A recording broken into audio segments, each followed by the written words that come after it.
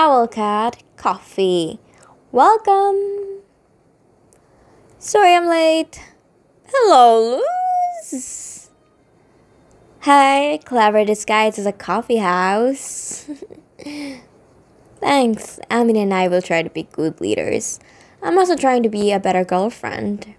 Whoa, Luz. You were disgusted with love a couple of months ago. Hmm. Don't worry, you're a great girlfriend. Oh, thanks, my perfect love. Am I bothering you? Director? Lilith? We need to talk. If you nag me about uni, I'm leaving. Luz, Amity, we've got a pretty serious problem. You're now being hunted by an elite gang on behalf of the Collector.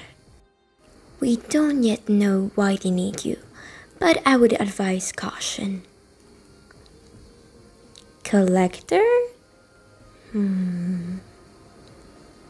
As far as I've heard, there's no one richer than this first class gang. They're more dangerous than Belos himself. Hmm. We're, gonna, kick, their ass. King, you don't have to burden yourself. Hooty, I can handle it. Mhm. Your order, cappuccino. Young man, can I talk to you for a minute? Hmm? Ahem.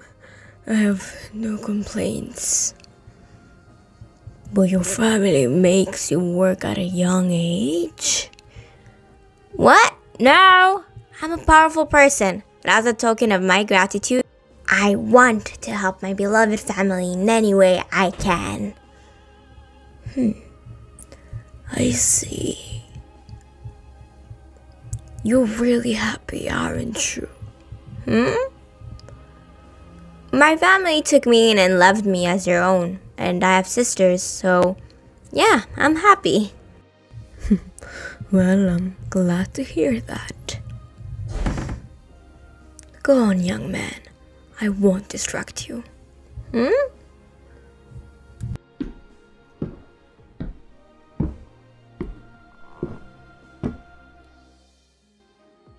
Credit to the amazing artists. Thank you so, so, so much for watching. I really hope I'll see you in the next one. Have a nice day. Thank you for your patience. And with that being said, star out. Bye.